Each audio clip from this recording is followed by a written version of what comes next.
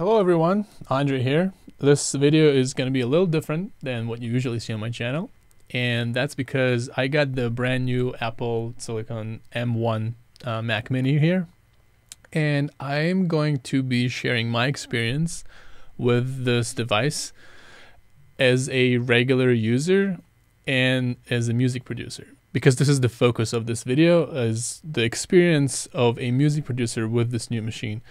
I've seen a lot of tests uh, and comparisons on YouTube already, but most of them, if not all of them, mainly talk about kind of like the performance difference between like the previous generation uh, Intel-based uh, chips and and the new M1 chip, and those didn't really resonate with me or give me like a good idea of what to expect of or what my experience would be like with with the new machine. Um, so I decided to just go ahead and like you know I bought it with my own money and now I'm just testing it and kind of like sharing my my experience so far and the roadblocks that I've ran into. I'm an Ableton user and for now Ableton does not run natively on on the M1 chip. It runs through the emulator, the Rosetta 2 emulator. And I want to see what it's like to install Ableton from scratch and then which plugins that are not native to to Apple, like any third-party plug- plugins, which ones work, which ones don't, if there's any quirks or crashes that I experience. And yeah, just kind of like share share what it's like, so then you can make your own decision and see if this is something you want to invest in right now, or perhaps you should hold off and you know wait till there's more things that are compatible with the new chip. So yeah, without further ado, let's uh, let's dive right in, and I'll show you a little bit what I've been doing so far and my experience so far. So um, my audio interface is uh, the Focusrite Scarlett 18i20, and the Focusrite control software was running perfectly fine. I installed it with no issues. Everything is working as expected. All of my uh, inputs, outputs loaded just fine, just the way I have it configured. So far, no issues in that regard. So if you're a Focusrite Scarlett user, I think you should be good. And then here I have uh, Ableton Live 10 uh, suite running. Again, installation was a breeze. Didn't encounter any any issues so far. I have a push 2 which is connected via a double seven port USB hub that's daisy chained and it's all connected via one cable to the Mac Mini, just a regular USB cable. Um, that was one of my main concerns too, to see if if that was gonna be compatible and if it's gonna work or not. But again, so far, uh, no issues with that uh, as well. Um, I have my uh, my push two here, uh, just a, a, a drum a drum rack here just something that comes with Ableton works works just fine no issues there as well uh, also tried like a quick Max for Live LFO device you know just map it to like the panning and as you can see just panning left and right it's it's working just fine again no issues here I also have uh, a third-party plugin called Lie uh, by Expressive E. It's uh, a companion synth that comes with this um, Touche device. It's kind of like a MIDI controller that allows you to control uh, like four dimensions of parameters. So here, for example, if I play something. Um,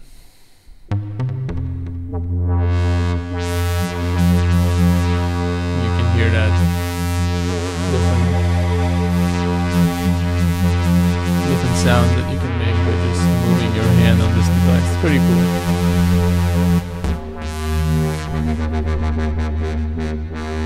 So um, both of those as well, the hardware piece and the software piece, um, work as expected. No quirks, no issues with that. So that was that was pretty good. And then I also loaded Pigments by Arturia and that also worked just fine. Um, obviously, I'm not gonna use my uh, activation here. Just gonna run it in demo mode for the purpose of this video. And yeah, this also works as expected.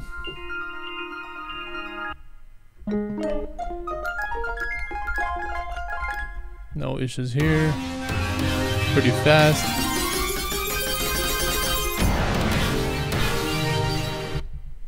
I, I, I like it.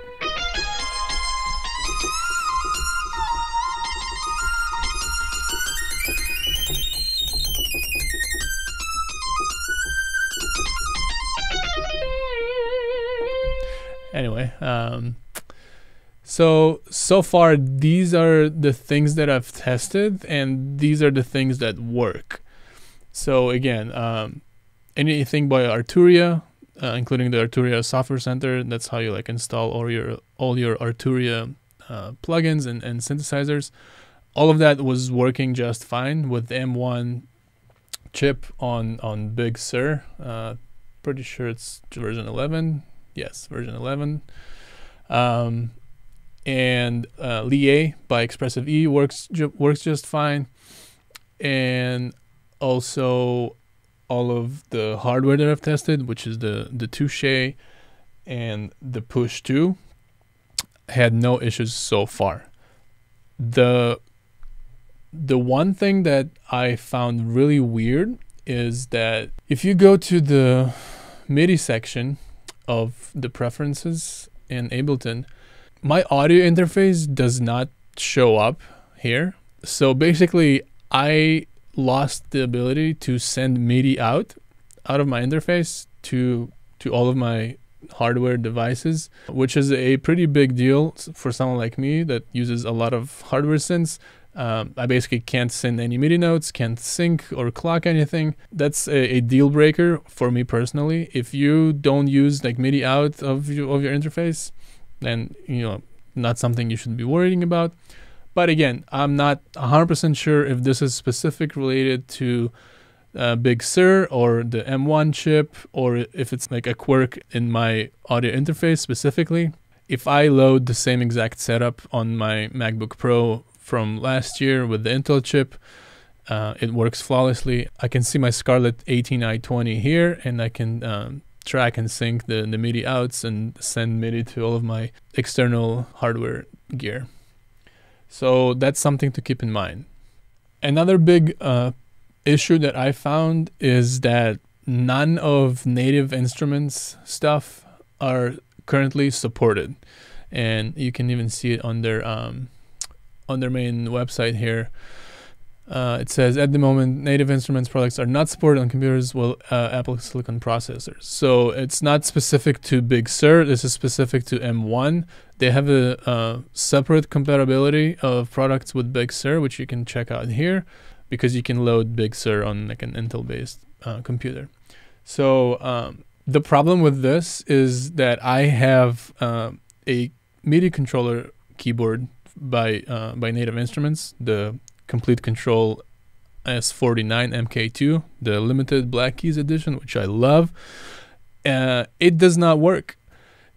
You cannot use any of the built-in features. You cannot use um, Komplete Kontrol, which is kind of like this um, collection of all of your Native Instruments devices um, in one single application, which allows you to preview all of your samples, all, all of your synthesizers, um, manipulate the different parameters on the fly, everything from the keyboard.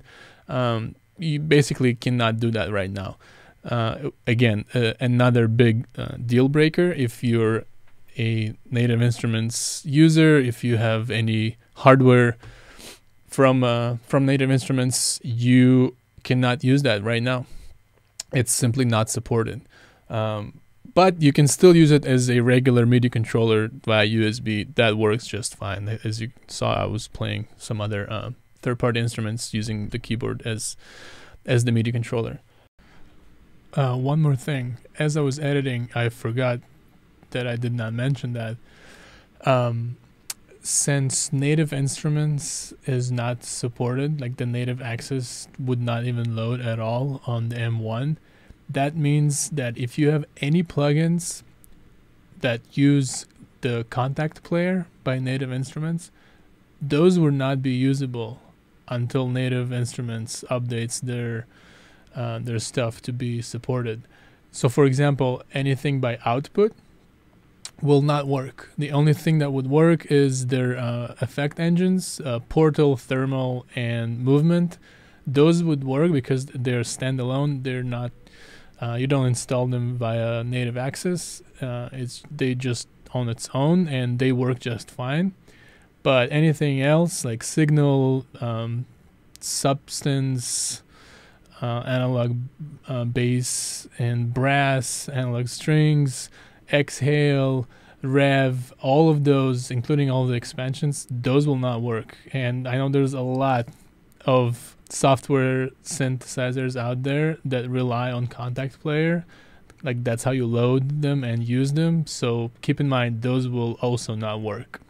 Another thing that is not supported right now is anything by iZotope It will be probably, you know, uh, my guess Q1 of next year.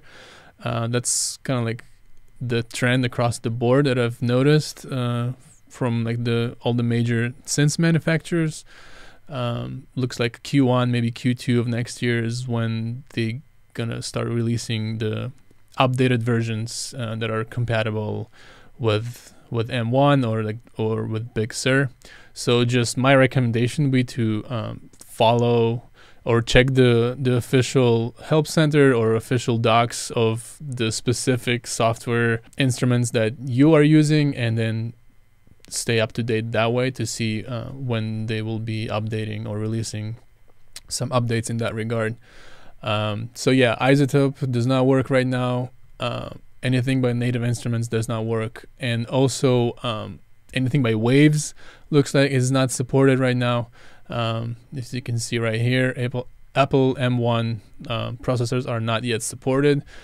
Um, that being said, um, I managed to install the Waves Central, and it did load my uh, all of my plugins, but I could not test it because you can only transfer license between computers like once a year. Um, and I'm not gonna do that because I don't want to get stuck and not be able to use my my plugins. So um, here, as you can see, like I installed like the Brauer Motion and and the Kaleidoscope and the Ovox. Um, but again, it it it got installed, but I can't test if it actually works or not because I need to transfer the license, and I'm not gonna do that right now. So you know, it could work, but I can't tell you for sure. So just, you know, your mileage may vary. okay, so my biggest takeaway uh, for now is if you're an Ableton user or if you're using any any software that is not made by Apple, just wait for now. Do not upgrade to the new M1 chip. There's just too much of in- incompatibility and too much of just unknowns in the air. Something works, something doesn't. Sometimes it crashes, sometimes it works just fine. I don't know. For me personally, I like stability and I just like to plug and play, right? Like literally, I if I sit down to be productive and to create music, I don't want to be dealing with errors or like something just crashes or that stops working.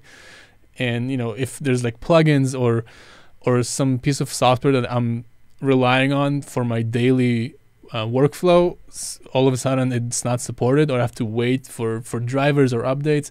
It just kills the creativity. It kills my workflow, and I, I don't like that. I'm a big tech nerd. I like new stuff, new technology, but when it comes to things like that, it's just better to wait. If you're a, a Logic user and that's all you use, like please go ahead, uh, use the new machine, you will see a dramatic increase in performance based on what I've seen. I'm not a Logic user, so I can't tell you uh, my personal opinion on that. Um, I am an Ableton user though, and for now, like there's just too many things that are not um, not supported that I use on a daily basis. So again, I think we all should just wait a little bit uh, and see where and how this evolves. We will see a lot of performance increase once all the all the software and all the DAWs and all the plugins um, are compatible and recompiled to run natively on the M1 chip, it will be like a huge performance boost. Like I know it for a fact. When it will happen though, nobody knows because there's so many variables and it dependent on so many different things and manufacturers. So my guess would be probably like towards the the end of next year, maybe like Q3, Q4, we'll start seeing like more and more things and updates coming out uh, that allow you to be to use everything like natively on the new chips. And hopefully by then like a, a better like m2 version or something will come out. The macbook pro 16 is probably going to be equipped with a faster apple chip. Like who knows you know? Like it, the road is only up from here which is exciting but you know for now this is gen 1 so we just need to to be a little bit more patient and just keep yourself updated um, through the official websites on the specific synthesizers or software that, that you're using to see once you know once they release the updated version. So hopefully this was helpful. If you're in the market for a new machine, I would like to hear from you and kind of like see what your experience been like so far. Whether you're an Ableton user, Logic user, Bitwig, Cubase, Reason, doesn't matter. I, I want to hear about your experience with the new chip and kind of like what things that you found that work or don't work, and you know, let me know in the comments below. Let's let's have a conversation about it. Um, you know, it will help a lot of people because everybody is kind of like monitoring this space right now. So yeah, have a good one.